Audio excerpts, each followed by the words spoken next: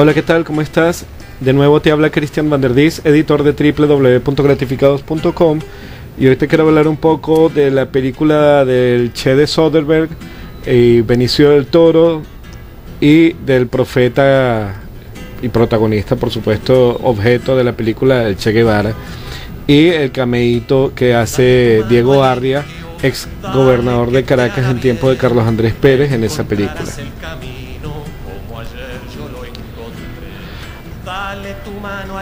Bien, hace unos pocos días estaba viendo la película de Soderbergh del Che y hay una parte donde trata del famoso discurso del Che en las Naciones Unidas.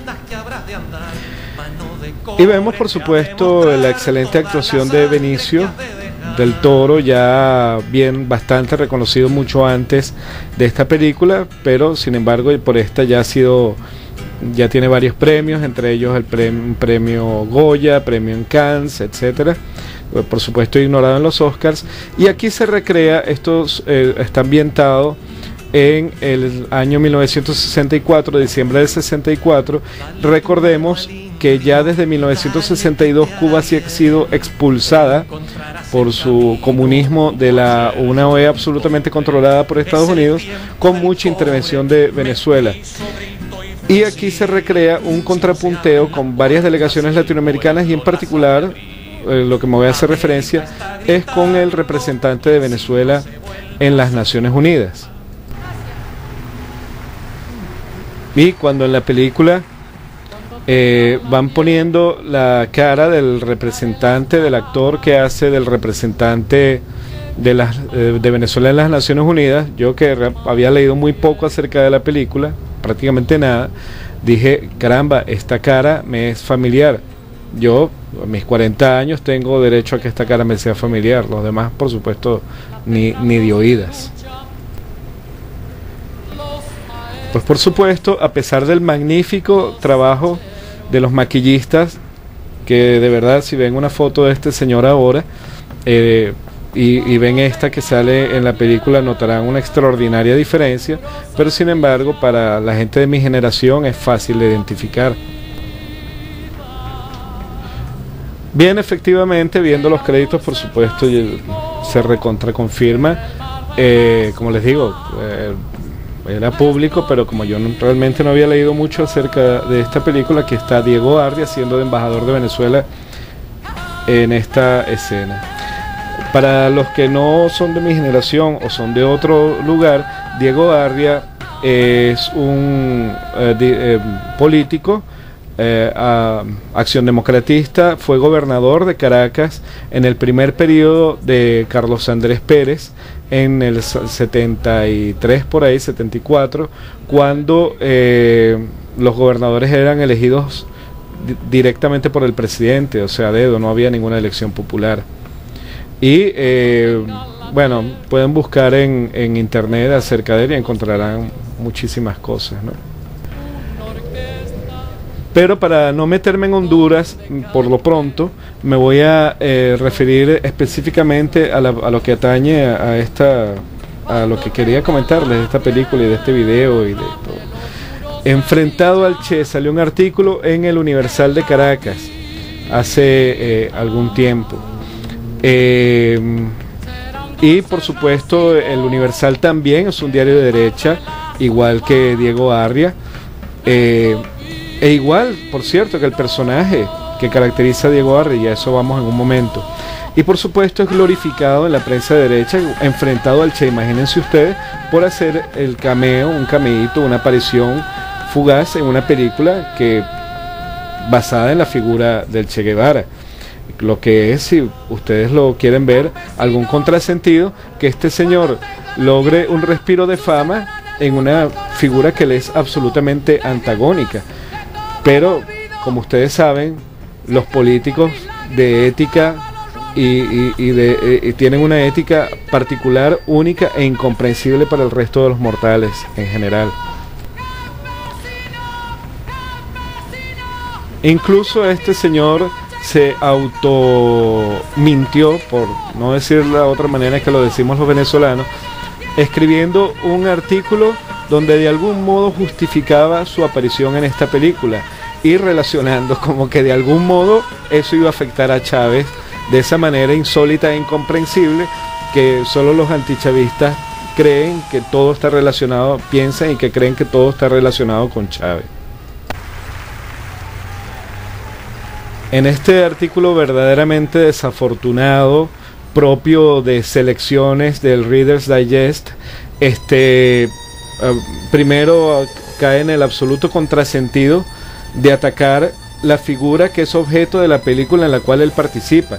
Si él es un político, ¿para qué participa entonces en algo que no le gusta o que no comparte? Y luego, para completar la, la, inconsistencia, critica la propia película, diciendo además que lo más censurable, un argumento tan bobo, como decir que lo más censurable es la carencia de objetividad. Como si una película sobre el Che Guevara, una película no documental, tuviera como objetivo un objetivo diferente, o sea, tuviera alguna posibilidad de no ser subjetiva. Pero mira qué idiote, pero ¿qué se puede esperar?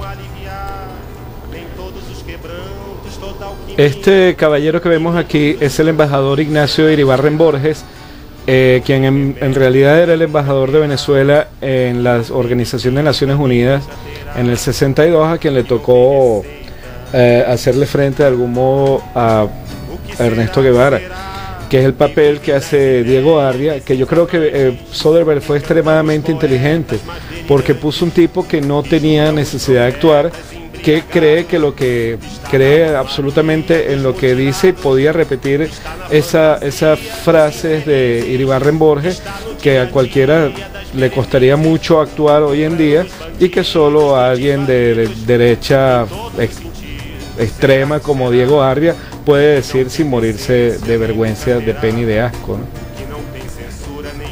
En el episodio histórico aquí vemos a Ernesto Guevara en eh, las Naciones Unidas en el 64. Les recuerdo que en el 62 Cuba había sido expulsada de la Organización de Estados Americanos, en buena parte gracias a la sumisión y actuación en, en obsecuente de Venezuela, eh, del gobierno venezolano, con su presidente Rómulo Betancourt, y lograron eh, eh, hacer una expulsión de Cuba de la organización de la OEA. Y por supuesto en esta oportunidad las Naciones Unidas, Ernesto Guevara, denuncia eso y además denuncia las desapariciones y la, los bombardeos que se estaban llevando en Venezuela en el gobierno ya de Raúl Leoni y a la infame Digepol, que era la policía política de la época. Estas declaraciones del Che, denunciando a Venezuela, por supuesto, generan, bueno, y otros países, generan unas eh, réplicas de los embajadores de esos países aludidos y, por supuesto, de Iribarren Borges, el de Venezuela, donde le dice al Che que son infames las acusaciones de genocidio y que realmente era increíble que el gobierno cubano se ocupara de estas cosas de Venezuela, existiendo tal represión contra su pueblo, y se refiere al pueblo cubano, y aquí estoy citando eh, la propia respuesta del Che, donde le dice, nosotros tenemos que decir aquí lo que es una verdad conocida, que la hemos expresado siempre ante el mundo. Fusilamiento sí hemos fusilado. Fusilamos y seguiremos fusilando mientras sea necesario. Nuestra lucha es una lucha a muerte. Nosotros sabemos cuál sería el resultado de una batalla perdida y también tienen que saber los gusanos cuál es el resultado de la batalla perdida hoy en Cuba. En esas condiciones nosotros vivimos por la imposición del imperialismo norteamericano. Recuerden que estoy leyendo textualmente al Che. Pero eso sí, asesinatos no cometemos, como está cometiendo ahora en estos momentos la policía venezolana, que creo recibe el nombre de Digepol, si no estoy mal informado. Esa policía ha cometido una serie de actos de barbarie, de fusilamiento, es decir, asesinatos, y después ha tirado los cadáveres en algunos lugares. Esto ha conseguido contra las personas, por ejemplo, de estudiantes, etcétera. Esto que denunció el Che hace cuarenta y pico de años, lo podemos ver ahora, ya es por fin sale a la luz pública el asesinato, por ejemplo, de Alberto Lovera. Conocemos también testimonios de que en esa época y en Venezuela fue que se instauró el terrorismo de Estado y la práctica de las desapariciones que después sería común, común lamentablemente en toda América del Sur. Podemos conseguir testimonios de algunas desapariciones como la de José Chema Sader en el 67, Eduardo Navarro Laudens y Alejandro Tejera, eh, Luis Fernando Vera Betancourt, Félix José Faría, Eliazar Fabricio Aristigueta, y todas gracias a la DIGEPOL, que era la policía política que denuncia el Che. Bien, me despido de esta primera parte de esta eh, conversación sobre este interesante tema, pero como vamos viendo hasta el momento, parece que a despecho del señor Arria, quien va quedando muy bien parado es la figura eh, histórica de Ernesto Che Guevara y muy mal la figura suya de, Diego Arria y la política que él representa. De todos modos hablaremos de esto más adelante. Gracias por escucharme. Hasta luego.